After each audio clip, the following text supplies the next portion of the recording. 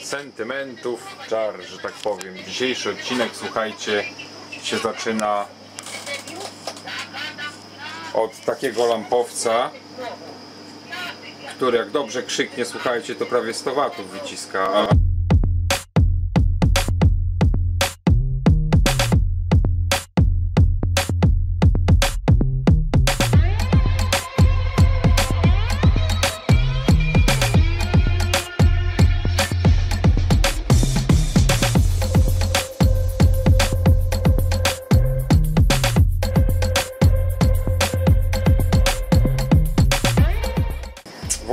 Zaraz zrobimy pomiary.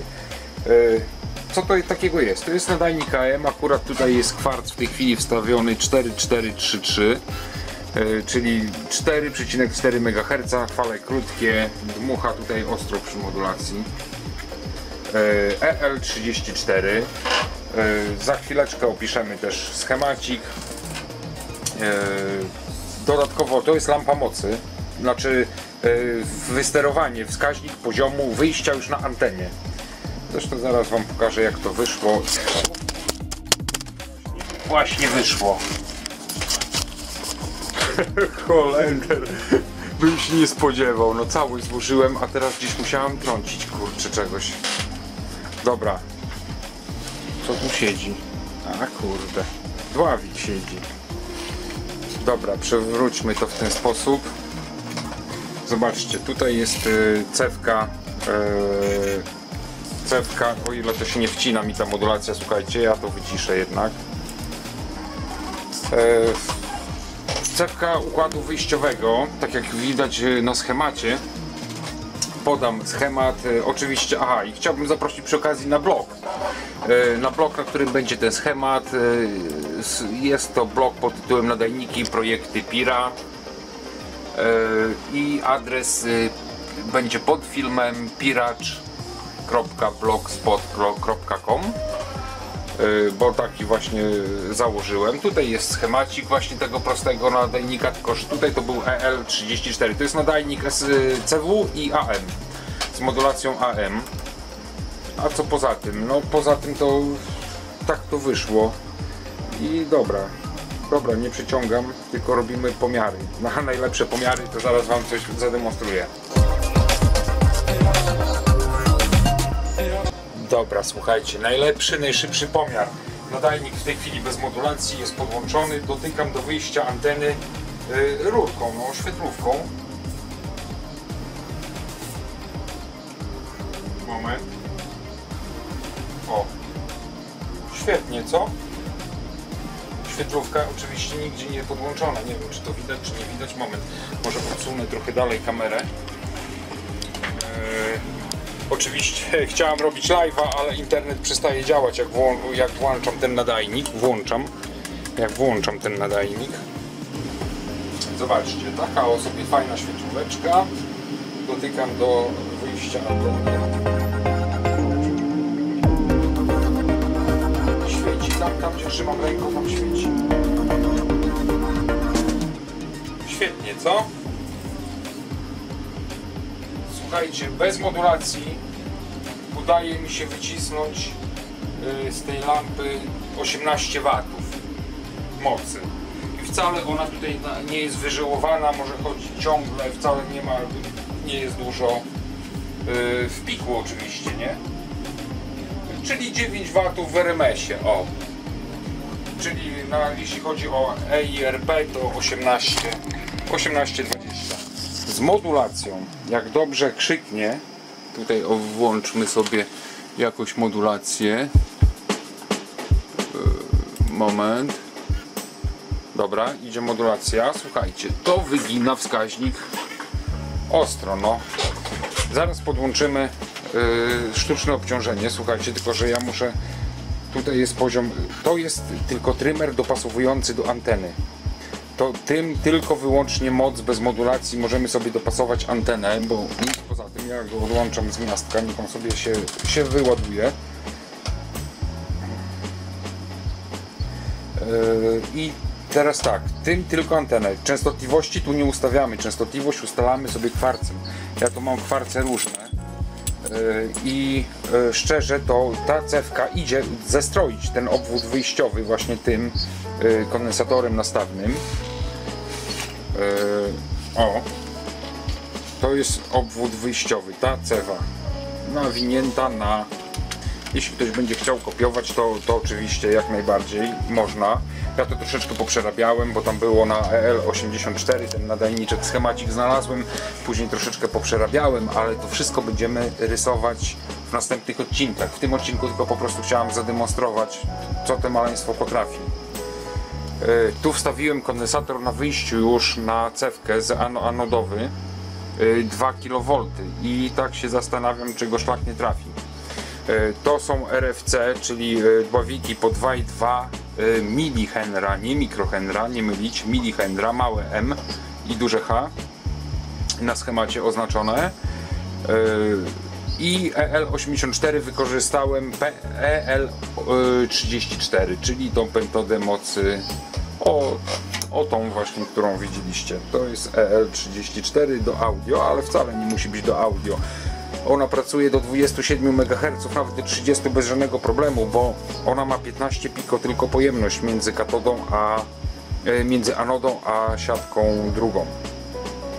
Bo trzecia siatka e, ona też nie jest do niczego tutaj podłączona, ale tu w nadajniku musimy spiąć tak jak w EL84, czyli podłączyć ją do katody i później to wszystko przez dławik do masy lub do przycisku klucza, czyli CW. Tak, żeby puszczać sygnał, włącza, złączając, złączając, tak, jak to się mówi, złączając yy, katodę z masą obudowy, czyli żeby na kluczu nie było, nie występowało napięcie wysokie yy, do masy. Klucz, kluczujemy, nie?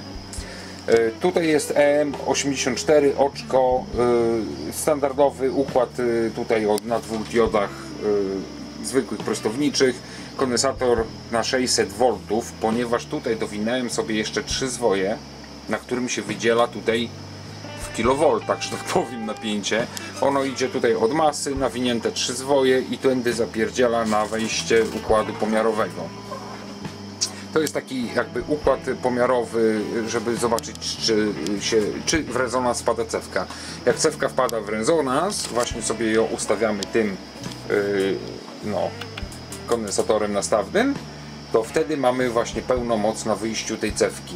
Czyli tutaj idzie, bo to jest tak, jedno uzwojenie, na nim są cztery zwoje drucika cienkiego, który wyj- wychodzi już na, na antenę. Zasilacz standardowo, dwa kondensatory połączone y, 100 ohmów rezystor, tylko że 10 W nie 5 jak na schemacie. Y, Mostek prostowniczy, tutaj du dużych prądów nie ma, ale za to napięciowo jest, jest sporo, bo zasilam to z 300 chyba bodajże po filtracji jest 300 V, nie? Y, Trochę dużo jak na tą lampę, 270-250 to by było idealnie. Pracuje to, to, to akurat ta cewka 36 zwojów yy, pierwotna ta cewka i 4 zwoje od rezonansu do anteny, czyli ta odprowadzająca ona pracuje z tym kondensatorem, tutaj są dwie blachy wyrwane z tej pierwszej sekcji, bo tylko ta pierwsza sekcja jest podpięta. W na schemacie jest 160 piko, ja tutaj wstawiłem 320, ale dwie blachy wyrwałem, także gdzieś około 300-280 piko yy, faradów wyszedł ten kondensator. Yy, I to by było tyle. Zobaczcie, to jest bardzo prosty układ. To są dwa rezystory, tylko to jest akurat anodowy rezystor, ma nawinięte 10 zwoi. Yy, Na rezystorze drutem już tutaj nawinąłem 0,5 mm. Yy, Nie ze- yy, 0,4 sorry, mm, nie 0,2 tak jak na schemacie, tylko 0,4.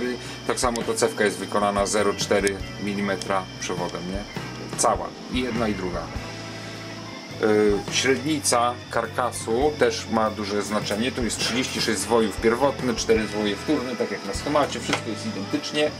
Na 80 metrach też to pracuje.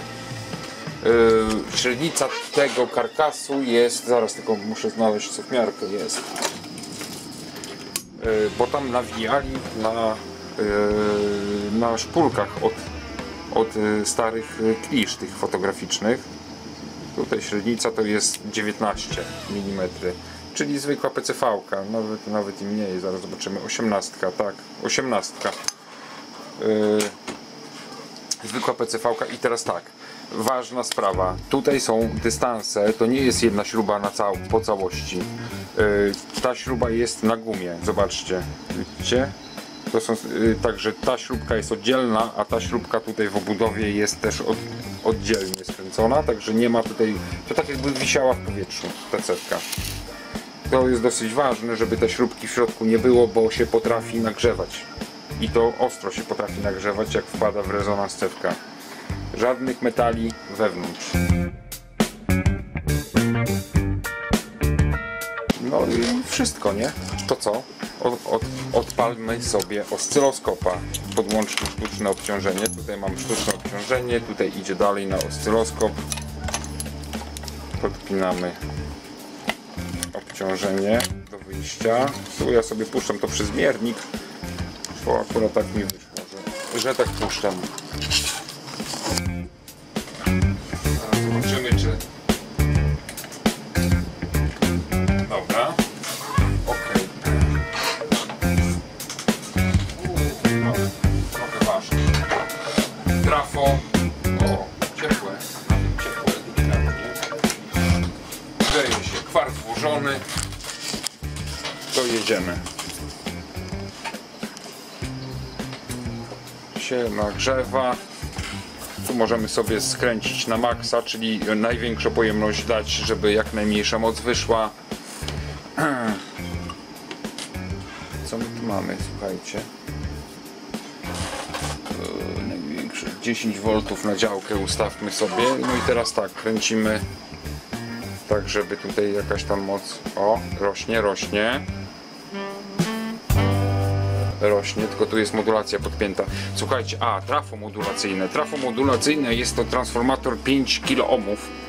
Y, Z jednej strony 8 ohmów, z drugiej strony y, to ja go zaekranowałem, żeby po prostu WC nie wsiekało w, w no, tak samo te lampy są, jest ta lampa, właśnie ta generatora, ta nadawcza y, EL34, na której jest już kwarc jest oddalony, jak widać od niej, za kondensatorem.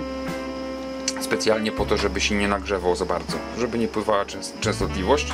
Chociaż dołożyłem oczko, ale to oczko jest praktycznie zimne, ono ma y, żarzona jest 6,3 V, tutaj y, anodowe idzie 270 na oczko idzie przez y, jeszcze jeden rezystor i przez jeszcze jeden kondensatorek, także tam 250 idzie na oczko, 270 bodajże, 280 idzie na przy pełnym obciążeniu 275 jak mierzyłem. No i pamiętajmy, że trafo musi przynajmniej 100 mA wy, wy, wy, wydoić. 100 to jest takie naprawdę minimum. Yy, niby tam 40, zobaczcie, tutaj po, podniosłem moc. Zobaczcie co się dzieje z, z sinusem, to jest bez modulacji. O, zaczyna łamać. 10 V jest na działkę. Puśćmy 5 V na działkę. Mamy 20, słuchajcie, 22 V bez modulacji. Do załamania. Jak już zaczyna łamać o dolno i już zaczyna górno. Zobaczcie jak fajnie lampa się zachowuje. To nie tranzystor, że obcina na równo. Widzicie? Jak idzie sygnał i to jest częstotliwość 4,4 no taka jak, jak, jak, jaki mamy kwarc włożony, nie? I, i teraz tak, włącz, włączmy modulację. Słuchajcie, dobrze krzyk, krzyknie z modulacją. 38, tu już się kończy podziałka, musimy 10 V na działkę. 30, 42 nawet, zobaczcie. 43, 42, 44, 40 średnio idzie 40 V 40 V na 50 ohmach czyli szybkie przeliczanko bo zaraz się kończy karta, ostatnie 3 minutki filmu niestety nagrywam to z, kart, z aparatu, także y, 42 V razy 42 V dzielimy przez opornik 35,2 W. Nie ma co przesadzać, wiecie, 30, to, to już jest naprawdę dycht jak na to lampę. 35 W w AM-ie. y, To jak otworzysz lodówkę, to zamiast świateł dyskoteka w lodówce, a nawet jakbyś dobrze się uparł, to w pobliżu idzie usłyszeć to w wyłączonych kolumnach. 35 watów, no. 35 watów mocy w AM-ie na częstotliwości 4. A dlaczego taka częstotliwość kwarca? Aha, jeszcze jedna rzecz. Do 12 MHz idzie się dostroić z obwodem re- rezonansowym na max sygnału. O. Zobaczcie, tutaj, tutaj kręcę w tak o, kręcę w jedną stronę. O, mamy rezonans cewki i kręcę dalej, już spada rezonans cewki. No i to samo widać na oscyloskopie, nie? O, spada rezonans, już przeginam, już spada z powrotem. Czyli max, bo już zaczyna łamać sinusa, teraz nie łamie, nie? 22 V bez modulacji, z modulacji 40, czyli 100% modulacja. AM. A jak to słychać w starym kinie?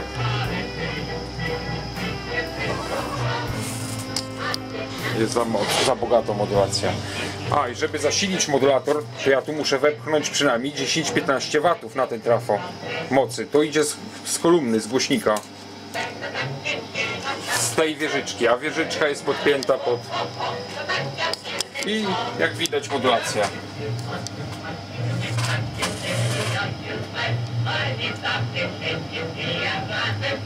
Dobra, jeszcze tylko weźmiemy na modulację. Zamyka do końca modulację, także jest za głośno, za bogato, za dużo puszczone zwierzy. Na pół gwizdka, no to czyli gdzieś 10 watów trzeba wciskać, nie? Żeby wymodulować lampę. Pozdrawiam. Liczę na łapki w górę. W następnych odcinkach będą już naprawy. Będzie chwila czasu. Cały tydzień mam wolnego, także się zajmę wszystkimi naprawami. Obiecuję. Pozdrawiam.